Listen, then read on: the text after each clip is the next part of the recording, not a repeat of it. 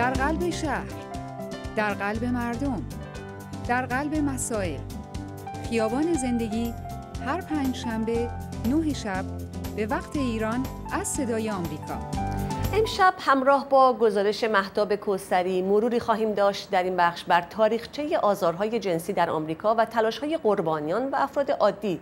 در این کشور برای برخورداری از قوانینی که افراد آسیب دیده رو نه تنها مجرم بلکه قربانی می‌دونه. قوانینی که هدفش کمک به افراد خشونت دیده کاهش این معضل اجتماعی و فراگیر هست و صدور حکم لازم و منطقی برای متهمین. از همه مهمتر از همه اینها مهمتر کمک می‌کنه به نگاه جامعه به اینکه این نگاه عوض بشه و نگاهشون به قربانیان کاملا تغییر بکنه. البته در آمریکا هم راه درازی در توقف خشونت جنسی باقی است اما قدم های خوب و بسیار مؤثری برداشته شده تا به حال.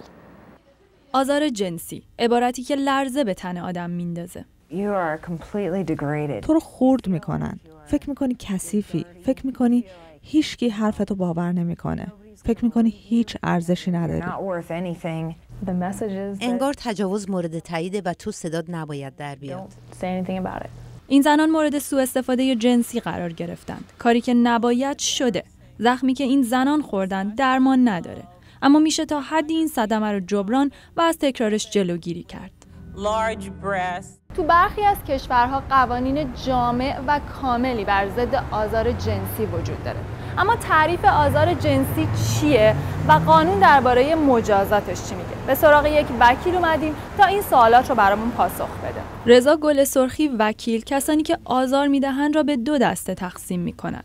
افرادی با تئوری دوستت دارم و افرادی با تئوری ازت متنفرم. بیسیکلی اون I hate you theory امریکایی اینه که یه مردی سر کار یه خانومی میاد کار می‌گیره و فکر مرد اینه که این این زن نباید تو کار باشه. برای من اینقدر اذیت می‌کنه که آخر سر زن می‌ذاره میره. بعدا عکس گروه هستن که اونایی که به I love you theory اونا اونایی که می‌خواستن مثلا شب می‌خوان با یکی دیت برن بیرون فرقی نداره. اگه شوهر داشته باشه شوهر نداشته باشه اولین مبارزات جدی زنان از اواخر قرن 19 و اوایل قرن 20 شروع شد که برای به دست آوردن حقوق شهروندی از جمله حق رأی، حق طلاق و هزانت فرزند بود. همان زمان مسئله آزار کارفرمایان نیز مطرح شد. این تلاش ها ادامه داشت تا اواسط قرن بیستم با تصویب قانون شهروندی 1964 تبعیض جنسیتی غیرقانونی شد.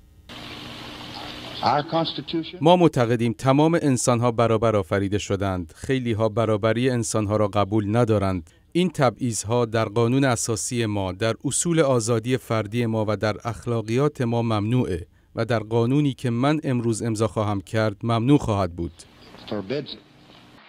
اما عبارت آزار جنسی در محل کار برای اولین بار در سال 1970 استفاده شد. اولین دفعه که اسم حرف sexual harassment در امریکا شروع شده سال 1970 بوده. دو تا وکیل بودن یکیش به اسم خانم کاترین مکنن و اون یکی لین فارلی. این خانم فارلی در Cornell University داشته یه درس می‌داده یه سمینار می‌داده درباره زن در کار و حرف sexual harassment این اولین کسی بوده در همچین سمیناری شروع کرده و از اون به بعد گذشته یعنی جلو رفته. با اینکه قانونی در حمایت از قربانیان آزار جنسی تصویب شده بود اما هنوز ترس از بیآبرویی و از دست دادن کار این افراد را به سکوت وامی داشت تا اینکه برای اولین بار سال 1986 یک پرونده آزار جنسی به دادگاه عالی آمریکا رفت پس از آن بین سالهای 1986 تا 96 650 پرونده آزار جنسی در دادگاه های آمریکا بررسی شد. یکی از معروفترین این پرونده ها مربوط به لوئیس جنسن بود که بعدها فیلم نورت کانتری بر اساس داستان زندگی این زن ساخته شد. می‌خوام از همشون شکایت کنم.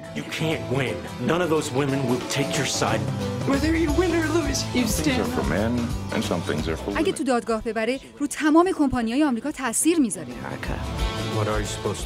در پی افزایش آزارها کنگره آمریکا قانون شهروندی 1991 را تصویب کرد که بر طبق آن شاکی پرونده آزار جنسی هم می‌تواند تقاضای هیئت منصفه کند و هم می‌تواند برای صدمه های مالی و روحی خود تقاضای دریافت خسارت نقدی کند.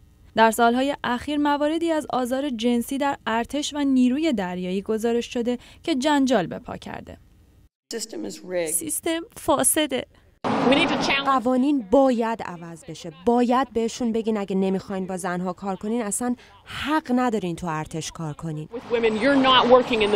به عقیده رضا گل سرخی با باز شدن فضا برای همجنسگرایان در محیط های کاری تئوری از تو متنفرم شامل حال مردان نیز خواهد شد. و به خاطر تنفر از همجنسگراها توسط برخی افراد آزار جنسی مردان رو به افزایش است و شاید بیشتر هم بشود. ما وطن فروش نیستیم که به دادگاه اومدیم. ارتش به ما خیانت کرده. The military betrayed us.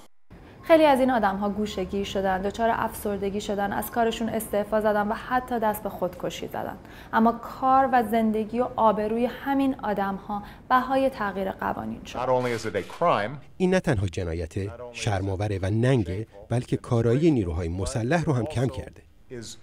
Going to make and has made our military less effective than it can be. اکنون پس از دوازده سال از تصویب قانون شهروندی 1991 دوباره فعالان و قربانیان آزار جنسی به قانونگذاران آمریکا برای اتخاذ تدابیر مؤثر فشار میآورند. محتاب کوسری صدای آمریکا واشنگتن